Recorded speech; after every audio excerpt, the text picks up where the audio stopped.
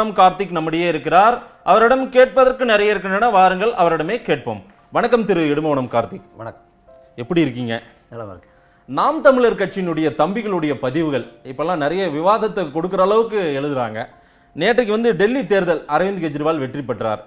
நிறைய பதிவுகள் பார்த்தேன் நாம் தமிழர் தம்பிகள் எழுதின பதிவுகள் அதை வச்சு தான் அந்த விவாதத்தை நான் கொண்டு போகிறேன் அதில் சில கேள்விகள் இருக்கு. ஆஹ் தம்பிகள்லாம் என்ன எழுதுறாங்க அப்படின்னா கெஜ்ரிவாலே எங்கள் அறிக்கையை தேர்தல் அறிக்கையை காப்பி அடிச்சுட்டு அங்கே பேசி வெற்றி பெற்று விட்டார். அப்படின்றாங்க. இது வந்து இப்போ மட்டும் கிடையாது. தொடர்ந்து ஜெகன்மோகன் வெற்றி பெற்றது கூட ஏ- நான் சொன்னதை தான் சொல்லிட்டாருன்னு திரு சீமான் அவர்களே பேசுகிறாங்க இது என்ன மாதிரி ஒரு போக்கு? எல்லாத்தையும் உங்களது காப்பி அடிச்சு தான் மற்ற மாநிலங்களில் எல்லா வேலையும் செய்கிறாங்க அப்படின்னு சொல்கிறது இல்லை கெஜ்ரிவால் வந்து நாம் நாம கொடுத்த அறிக்கையை காப்பி பண்ணி இது பண்ணுறாரு அவர் அப்படியே அடியுற்றி இது பண்றாரு நம்ம சொல்ல வரல.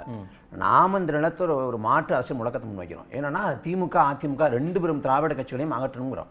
ரெண்டு கட்சியுமே ஆபத்தான கட்சிகள் ரெண்டு கட்சியுமே மக்கள் நலனுக்கு புறணா முரணா இருக்குங்கிறோம். இப்போ அந்த நிலத்தில் பார்த்தீங்கன்னா அவர் காங்கிரஸ் பாஜகன்னு அங்கே ஆடுற ரெண்டு கட்சியிலையுமே எதுக்குறாரு அப்போ ஒரு கட்சியை சார்ந்து இருக்காம ரெண்டு கட்சியும் எதுக்குறாரு அப்போ முழக்க வந்து ஒரு மாற்று முழக்கத்தை முன் வைக்கிறப்ப அது எங்களைப் போலவே ஒரு அரசியல் சீராருன்னு சொல்கிறோம் அவர் எங்களைப் போலவே தத்துவத்தை முன் வச்சு ஒரு ஒரு தத்துவத்தை கட்டமைச்சு மக்களை அரசியல்படுத்தி செய்யலை. அவர் நிர்வாக ரீதியாக தான் கொண்டு போகிறார் ஏன்னா இந்த தேர்தலில் கூட நீங்கள் பாஜக காங்கிரஸ் ரெண்டு கட்சியை வீழ்த்தினா கூட அவர் ஒரு வலதுசாரி நிலைப்பாட்டை தான் எடுத்திருக்காரு. ஆனாலும் காங்கிரஸுக்கு பாஜக மாற்றா ஒரு கட்சி அங்கே வருதுங்கிறப்ப நம்ம வரவேற்கத்தக்கது. அப்படி தான் நம்ம இல்ல பார்க்கணும் வலதுசாரி நிலைப்பாடு எடுத்திருக்காரு இப்போ அது அப்படிதான் பார்க்கணும் நம்ம. அதை அதை கூட நீங்க பதிவு பண்ணிருக்கலாம்ல ஆனா அதை பதிவு பண்ண இல்ல நான் முடிச்சிடறேன் நான் முடிச்சிடுறேன். ஏன்னா அவர் வெற்றி பெற்ற பிறகு கூட அனுமானோட அடுக்கு அனுகிரகத்தினால தான் வெற்றி பெற்றங்கிற கருத்தை சொல்லியிருக்காரு. அதே போல அந்த எண்ணெயை எதிர்த்து பெருசா அவர் ஒன்றும் வாய் தந்தை பேசல. மாணவர்கள் தாக்கப்பட்டவர் கூட மௌனமா தான் இருந்தார். அப்ப எல்லாமே வந்து அவர் ஒரு மென்மையான இந்துத்துவவாதி போல தான் காட்டிக்கிட்டாரு அந்த நிலத்துல. அது வாக்கு காப்பினாரோ இல்லை என்னன்னு அதுன்னு தெரியல நமக்கு. இன்னொரு விஷயம் இந்த பக்கம் ஜெகன்மோகன் ரெட்டியை பொறுத்த வரைக்கும் நாங்கள் முன்வச்ச பல விஷயங்களை அவர் வந்து அடியோட்டிருக்காரு நாங்கள் முன்வச்ச அதாவது தலைநகரை பரவலாக்குவோம் அப்படின்னு சொன்னோம். அவர் அதே அங்கே செஞ்சிருக்காரு. அதே போல் பல்வேறு திட்டங்களை வந்து அவர் செஞ்சிருக்காரு. அப்போ நாங்கள் பண்ணுறதை அவர் வந்து அங்கே பிரதிபலிக்கிறாருன்னு சொல்கிறோம் அது வந்து நாங்கள் நாங்கள் தான் எல்லாத்துக்கும் காரணம் அப்படி சொல்ல வரல. சரி. நாங்கள் செய்வதை அங்கே செய்கிறாங்க அதே போல் அதிகாரம் கிடைக்கிறப்ப நாங்களும் இந்த இடத்தை செஞ்சு ஒரு வளர்ச்சியை வந்து மேம்படுத்தி காட்டுவோங்கிறது தான் நாங்கள் சொல்கிற கருத்து. மற்றபடி திரிக்கப்பட்டு அவங்களோட வெற்றிக்கு நாங்கள் தான் காரணம் இவங்களோட வெற்றிக்கு நாங்கள் தான் காரணம்னு. அவங்க வெற்றிக்கான அந்த கிரெடிட்டை நாங்கள் எடுத்துக்க விரும்பல. நாங்கள் சொல்கிறோம் எங்களை போலவே அங்கே அங்கே அரசு செய்கிறாங்க அதே போல் இந்த இடத்த ஒரு மாற்று அரசியல் முழக்கத்தை நாங்கள் முன்வைக்கிறோம். எங்கள்கிட்ட அதிகாரத்தை கொடுத்தா அதை தாண்டி ஒரு நல்லாட்சி நாங்கள் தருவோங்கிறத மக்களுக்கு சொல்கிறோம் அவ்வளோதான் ஒரு சாஃப்ட் இந்துத்துவா ஒரு சைடு ஒரு பக்கம் இந்துத்துவ அரசியலையும் கொண்டு வந்திருக்காரு கெஜ்ரிவால்னு நீங்க சொல்றீங்க. இங்க தமிழ்நாட்டை எடுத்துக்கலாம். திரு ரஜினிகாந்த் வரேன்னு சொல்லியிருக்காரு இருபத்தி ஒன்று தேர்தலுக்கு. ரஜினி எதிர்ப்பை பெரிய அளவுக்கு வீரியத்தில் கொண்டு போறது நாம் தமிழர் கட்சி தான். திரு சீமான் கடுமையா விமர்சனம் பண்ணுவாரு. சீமான் இவருக்கு வந்து ரஜினிகாந்துக்கு கிழக்கும் தெரியாது மேற்கும் தெரியாது. அந்த அளவுக்கு கூட விமர்சனம் பண்றாரு. ஆனா ரஜினிகாந்த் எதிர்ப்புல நிலைப்பாட்டை மாத்திட்டீங்களா இப்போ? ரொம்ப கடுமையான எதிர்ப்பை காட்டவில்லையே சீமான் அவர்கள். அவருடைய வாய்ஸ்லயே ரொம்ப ஒரு ஒரு மென்மையான போக்கு தெரியுது ரஜினி விஷயத்துல. என்ன காரணம்? ஏன் நிலைப்பாட்டை மாத்திட்டீங்களோ? இல்லை நீங்கள் ஒரு பத்து பதினஞ்சு நாள் தொலைக்காட்சியை பார்க்கலையா? இல்லை எங்கள் செய்தியை பார்க்கலையா? எனக்கு தெரியல.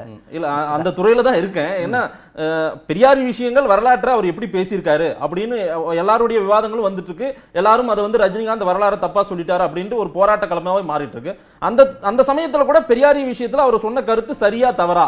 திரு சீமான் அதற்கான வாய்ஸையே கொடுக்காம மௌனமா அப்படி கடந்துட்டு போறாரு அப்படின்னா பெரியாரிய பற்றியான பார்வை சீமானுக்கே அவ்வளவுதான் இருக்கா? அப்படிதான் பாக்குறாரு ரஜினி என்ன பாக்குறாரோ அதே சீமான் பாக்குறாரோ ஒருவேளை? முதல்ல வந்து இந்த விஷயத்தை வந்து வேணும்னே ஊதி பெரிதாக்கி நாட்டில் இருக்கிற முக்கியமான சிக்கலை மடைமாற்றம் பண்ணிட்டாங்க திசை திருப்பிட்டாங்கன்னு நாங்கள் இவங்க வந்து ரஜினிகாந்த் அந்த துக்குளக் விவகாரத்தை பேசிக்கிட்டு இருந்தப்ப நாங்கள் வந்து எங்கள் அண்ணன் பேசிய விஷயம் வந்து ஹைட்ரோபன் திட்டத்துக்கு கருத்து கேட்பு கூட்டம் தேவையில்லை. அதே போல் சுற்றுச்சூழல் அனுமதி தேவையில்லை அப்படிங்கிற பேராவது திணிக்கப்படுது. அதே போல் பார்த்தீங்கன்னா நாடு முழுமைக்கும் என்னென்ன பொருளாதார தேக்கம் இருக்குதோ பொருளாதார முடக்கம் இருக்குதோ என்னென்ன ஆபத்துகள் இருக்கோ அது எல்லாத்தையும் மடமாற்றம் பண்ணிவிட்டு இவங்க ரஜினிகாந்தே வச்சு ஒரு வாரம் ஓட்டிக்கிட்டு இருக்காங்க. அப்போ தேவையில்லை. ரஜினிகாந்த் நம்ம உறுதியா சொல்லிட்டோம். இதை கூட சொல்லிருக்கலாம்ல திரு சீமான் அவர்கள் இந்த விஷயத்தை. ஹைட்ரோ கார்பன் இருக்கு மக்கள் நல பிரச்சனை நிறைய இருக்கு. சொல்லியிருக்காரு நான் சொல்றேன். எல்லாம் சொல்லியிருக்காரு. நான் முழுமையா சொல்றேன். இந்த விஷயத்துல வந்து கடந்து போனது நாம் தமிழர் கட்சியில் பல இடங்கள்ல அங்க திரும்ப திரும்ப பதிவு பண்ணியிருக்கோம். ரஜினிகாந்தை கண்டிச்சிருக்கோம். எங்க அண்ணனா அண்ணனே எல்லாத்துக்கும் பேசணும்னு இல்லை. ஏன்னா இதெல்லாம் ஒரு விஷயமே கிடையாது. ரஜினிகாந்துக்கெல்லாம் அவ எங்க அண்ணா பேசணும் இல்லை. நாங்க பேசுவோம். தம்பிகள் நாங்க பேசிட்டு போவோம். நாங்க பல இடத்துல பதிவு பண்ணியிருக்கோம். இந்த விஷயத்தை பொறுத்த வரைக்கும் அந்த துக்களுக்கு விவகாரத்துல அடிப்படை நடந்தது என்னன்னா இல்ல நீங்க பேசுவீங்க. நீங்க தொடர்ந்து பேசிட்டு இருக்கீங்க. கார்த்திக் எல்லாம் நாங்க ஃபாலோ பண்ணிட்டு இருக்கோம்.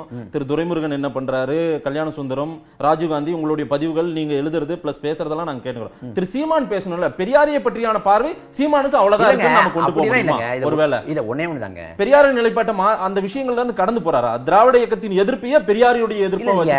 இந்த ஒரே புரிஞ்சுங்க முதல்ல.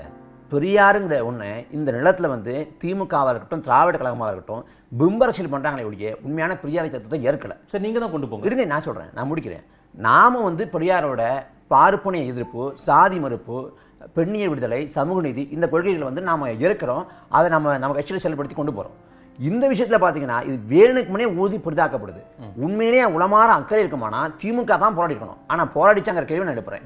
ஏன்னா அவர் துக்ளக் விழாவில் பேசுறப்பே என்ன சொல்றாருன்னா அஹ், துக்ளக்கு வச்சிருக்கவங்க வந்து அறிவாளி மோசடி வச்சிருக்கவங்க திமுக காரங்கன்னு பேசுறாரு. அதே மேடையில தான் அந்த பெரியார் அந்த சம்பவத்தை ஆயிரத்தி தொள்ளாயிரத்தி எழுபத்தி நடந்த சம்பவத்தை அவர் மேற்கோள் காட்டி பேசுறாரு. அப்ப அப்ப ஸ்டாலினா இருக்கட்டும் உதயநிதி ஸ்டாலினா இருக்கட்டும் அவங்க முதல்ல அந்த எழுபத்தொன்று சம்பவத்தை கண்டிச்சு பேசினாங்களான்னா பேசல. அவங்க அந்த முரசொலியை பத்தி பேசின மட்டும் எடுத்துக்கிட்டு அதை அப்படியே விட்டுட்டாங்க. திரும்ப அது பெரிதாக்கப்படுங்கிறப்ப அவங்க பேசினாங்க. இது வரைக்கும் திமுக சார்பா ரஜினிகாந்த் கண்டனம்ங்கிற வார்த்தையை பதிவு பண்ணிருக்காங்களான்னு எனக்கு பதில் சொல்லுங்க. அதிமுகவை சேர்ந்த அமைச்சர் ஜெயக்குமார் சொல்றாரு செல்லூர் ராஜ் கண்டிக்க கண்டிக்கிறாரு. அதிமுகவை சேர்ந்த அமைச்சர் பெருமக்கள் கண்டிக்கிறாங்க. ஆனா திமுக ஏன் கண்டிக்காம இருக்குது. ஏன்னா அவங்களுக்கு நோக்கம் இல்லை. திமுக நினைச்ச நாளைக்கு ரஜினிகாந்த் கூட கூட்டணி போனா கூட ஒன்றும் ஆட்சிப்படுறது இல்ல. இதுல நீங்க இன்னும் பார்க்க வேண்டிய. திமுக அவங்க எப்படி வேணா பண்ணலாம். இது இது சாத்தியமா? இது இல்லங்க யாரோட பாஜகவோட கூட்டணி போனவங்க தாங்க. இல்ல திரு சீமான் அவர்கள் நான் முடிச்சிடுறேன், நீங்க- இல்ல, பொது. பார்வையில பேசக்கூடிய இல்ல, சீமான் நான் முடிச்சிடுறேன். வார்த்தை ஜாலத்துக்காக சிலது பேசிட்டு போறாரு அப்படின்ற மாதிரி நான் நீங்களும் முடிச்சிடறேன். ஏன்னா? எந்த அப்படி எடுத்துப்பாங்க இல்ல அவங்க எடுத்துட்டு போட்டோம் ஒன்றும் பிரச்சனை கிடையாது. நான் கருத்தை கொஞ்சம் செஞ்சிடறேன். ஏன்னா நீங்க பாருங்க எம்ஜிஆர்னு ஒருத்தர் அவர் யாருன்னு பார்த்தா கருணாநிதி பக்கத்துல இருந்தவர்.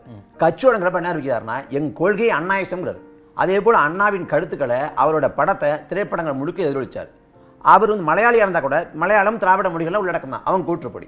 அந்த எம்ஜிஆர் வந்து முதலமைச்சராக முன்னெடுத்தப்பட்டப்ப அன்றைக்கு இருந்த திமுக இதே போல அன்றைக்கு இருந்த திமுக மலையாளி எம்ஜிஆர் தமிழ்நாட்டை ஆளுவதான்னு வீரியமான முழக்கத்தம் வச்சு திராவிட பாசல வளர்ந்த எம்ஜிஆர் திராவிடரான பிறப்பான திராவிடரான இவங்க கூற்றுப்படி திராவிடரான எம்ஜிஆரை அவ்வளவு வீரியமா இருந்த நீங்க ரஜினிகாந்தை மராட்டியர் என்று ஏதாவது ஒரு மேடையில திமுக பதிவு பண்ணுதாங்கிற கேள்வி நான் எழுப்புறேன்.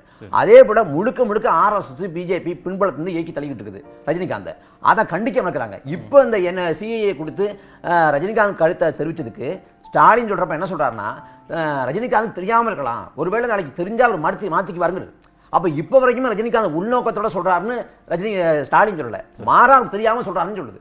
அப்ப ஒரு மென்மையான போக்கை தான் கையாளுது. இல்ல அவர் நடிகர் அப்படின்றாங்க. அவர் நடிகர். அவர் அரசியலுக்கு வரலையே அவர் அரசியல் கட்சி தலைவரா அவருக்கே நம்ம வந்து பதில் சொல்லிட்டு இருக்கணும் அப்படின்னு அந்த விஷயங்கள்ல கடந்து போறாங்க. நடிகரா- உங்களுடைய எதிர்ப்பு ரொம்ப வீரியமா இருங்க, இருக்கு இருங்க. அவர் நடிகரா இருக்கட்டும் என்னவா இருக்கட்டும். ஒரு கழுத்தை சொல்லலாம். ஆனா கழுத்து வாங்க செய்யக்கூடாது. நாம அந்த துக்களுக்கு அந்த அந்த விவகாரத்தை எடுக்க எடுக்கிறப்ப. ஆயிரத்தி தொள்ளாயிரத்தி எழுபத்தி நடந்தது வந்து வேற. பெரியார் வந்து மா மூடநம்பிக்கை ஒழிப்பு மாநாட்டில் ரெண்டாம் நாள் பேரணி போறாரு. முத வாகனத்துல அந்த அவர் வாகனம் போகுது. ரெண்டாவதுல வந்து ராமர் படங்கள் வைக்கப்பட்டிருக்கு. அங்கேருந்து அன்னைக்கு ஜனதா சங்கம் தான் இருக்குது பிஜேபி கிடையாது. அன்னைக்கு திமுக ஆட்சி ஆனா அது அந்த கருப்பொடி காட்டுவதற்கு ஜனதா சங்கத்துக்கு அனுமதி கொடுக்கப்பட்டிருக்குது.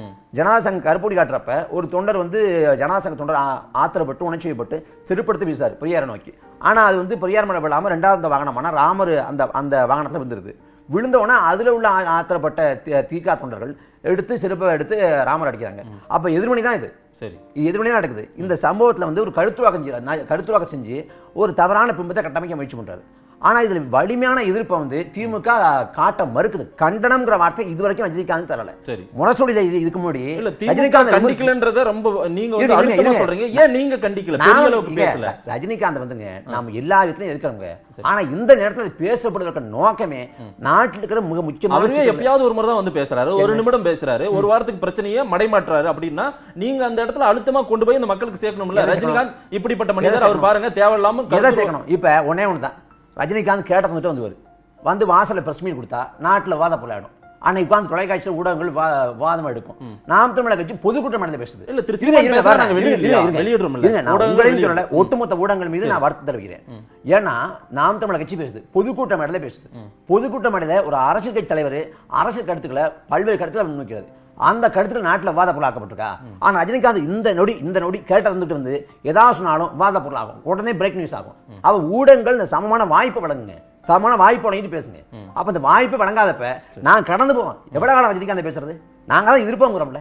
வந்தால் இருப்போம் எதிர்த்து வீழ்த்துவோம். அவர் மராட்டியர் அவர் பின்புலத்தான் அரசு இயங்குது. அப்பட்டமான சங்கின்னு தெரியுது. நாங்க இல்ல, சொல்றோம்ல அந்த வார்த்தை வேண்டாம். அவர் என்ன ஏன் கருத்துங்க, ஏன் கருத்து? வள்ளுவரும் மாட்ட மாட்டாரு நானும் மாட்ட மாட்டேன்னு சொல்லி கூட நீங்க அதாவது, அந்த பிம்பத்தை. கொண்டு போறீங்க பாத்தீங்களா? கட்டமைப்புக்கு அதாவது- ரஜினிகாந்த் தனியா தான் நிக்க போறாரு இருநூத்தி முப்பத்தி நாலு தொகுதியில. தனியா? தனியா தான் நிக்க போறாரு. சரி சிவசேனாவும் பாஜகவும் தனித்தனியாக இயங்குது. அதுக்காக சிவசேனா இந்துத்துவ ஐடியாலஜிலாம் ஆயிடுமா? சரி. அப்படிலாம் கிடையாது. சிவசேனா இப்போ பாஜகவை எதிர்த்ததை நம்ம பார்த்தோம்ல. ஆமா அதனால ஐடியாலஜி? இந்துத்துவ ஐடியாலஜி இல்லைன்னு ஆயிடுமா? ரெண்டு இந்துத்துவம் தானே? ரஜினிகாந்த்ங்கிறவர் பாஜக கிளை பிரிவு அவ்வளவுதான். அதை தாண்டி ஒண்ணும் இல்ல. அவர் அவர் மேல காவி சாயத்தை பூசெல்லாம் ஒண்ணும் இல்ல. இது கிடையாது காவி தான் இருக்குது. அவர் அப்பட்டமான காவி சங்கி அது நாட்டுக்கே தெரியும். இந்த விஷயத்துல திரும்ப திரும்ப ரஜினிகாந்த் பேசணும்னு அவசியம் இல்லை எங்களுக்கு. நாங்க வந்து ரஜினிகாந்த் இருப்பதற்காக கட்சி விடங்கல நாங்க ஒரு தேசத்தின் விடுதலைங்கிற புனித நோக்கத்துக்காக கட்சி விடுக்கிறோம் இங்க எங்கன்னா எங்கள் இனம் மொத்தமும் ஈழநிலத்தில் கொண்டொழிக்கப்பட்ட பிறகு எந்த நாள் மே பதினெட்டு அந்த நாளில் இனம் கொண்டொழிக்கப்பட்டதோ அதே மே பதினெட்டு ரெண்டாயிரத்தி பத்தில் மதுரை மாநாட்டில் நாம் தமிழர் கட்சி கட்சியாக அறிவிக்கப்பட்டு பிரகடனம் செய்யப்படுது. எப்படி அன்றைக்கு கிழக்கு பாயசான வங்காளதேசமாக பிடிச்சு கொடுத்தாங்களோ அதுக்கு மேற்கு வங்காளம் அரசியல் அழுத்தம் கொடுத்து விடுதலை சாத்தியப்படுத்தியதோ அதே போல எங்கள் தமிழீழ விடுதலைக்காக தாய் தமிழகம் அழுத்தம் கொடுத்து இந்தியாவுக்கு அழுத்தம் கொடுத்து ஒரு தமிழ் நாட்டை கட்டமைப்பதற்காக ஒரு அரசியல் வழியில் அறம் துறக்கிற போது மரம் பிறக்கும் மரம் துறக்கிற போது அறம் பிறக்குங்கிற கோட்பாட்டுக்கு என்னங்க நாங்கள் அறவழி போராட்டத்தை முடிச்சு சொல்கிறோம் இதில் வந்து நாங்கள் ஒரு தார்மீகமான எங்களுக்கு மொழி மொழிவாரி பிரதித்துவம் கேட்குறோம். இந்தியாவை பொறுத்த வரைக்கும் இந்தியாங்கிறது பல்வேறு தேசங்கள் தேசங்களோட ஒன்றியம் கூட்டமைப்பு. இதில் மாநிலங்கள் என்பது தேசங்களின் தாயகம். இப்போ தமிழ்நாடு தான் தமிழர்களின் தாயகம். ஆந்திரானா தெலுங்குகளின் தாயகம். கர்நாடகா கன்னடர்களின் தாயகம். கேரளானா மலையாளிகளின் தாயகம். அப்போ அந்த தாயக இன மக்களுக்கான பிரதித்துவம் வேணும். இங்கே வகுப்பாடி பிரதித்துவம் கேட்டு நீதி கட்சியில் தொடங்கி பல்வேறு போராட்ட அமைப்புகள் வந்து போராடி இருக்குது. அதுக்காக பேச்சு இருக்குது. நாங்கள் மொழிவாரி பிரதித்துவம் கேட்குறோம். எங்கள் மொழிக்கான பிரதித்துவத்தை கேட்குறோம். அப்போ நாங்கள் ஒரு அரசியல் அடிப்படை முழக்கத்தை வைக்கிறோம் எங்கள் நிலத்தை நாங்கள் ஆளணும். அது எங்க தார்மீக அடிப்படை அரசியல் முழக்கம் மனுரிமை முழக்கம். அந்த முழக்கத்தை முன்வைக்கிறப்ப ரஜினிகாந்தோட அரசியல் அதுக்கு இடையூறா அமையுது அதனால இருக்கிறோம். அவ்வளவுதான். இதுல ரஜினிகாந்த் வந்து இங்க இருக்கிற தமிழர் தலைமைகள்ல இப்ப பாமக இருக்கட்டும் விடுதலை சிறுத்தையா இருக்கட்டும் இன்னும் பிற தமிழர் தலைமைகளை ஏற்று அவர் கீழே பணி செய்வாரா? எங்களுக்கு எந்த மறுப்பும் இல்லை. பணி செய்யட்டும் ஒன்றும் பிரச்சனை கிடையாது. ஆனா அவர் தமிழர்களை தலைமையேற்று நடத்துவாரு. தமிழ்நாட்டில் இருக்கிற அதீத திரைப்பட கவர்ச்சி திரைப்பட மாயை பயன்படுத்திக்கிட்டு தமிழ் தேசிய மக்களை அடிமைப்படுத்தி ஆள முயற்சி பண்ணுவார்னா அதை நாங்கள் எதிர்ப்போம். அவ்வளவுதான். மற்றபடி ரஜினிகாந்துக்கு என்ன கழுத்துக்கள் ஏதாவது இருக்குதா? ஆர்எஸ்எஸ் குருமூர்த்தி எழுதி தர்றாரு அதை அப்படியே வாசிக்கிறாரு. மற்றபடி அவருக்கு என்ன தெரியும்? ஒன்றுமே தெரியாது அவருக்கு.